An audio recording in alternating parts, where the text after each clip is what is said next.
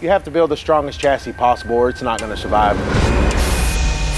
Everything we build, we go in knowing it has to be Dustin proof. I know that I'm hard on equipment, but if there's one thing that's going to test our parts and our cars, This is the payoff.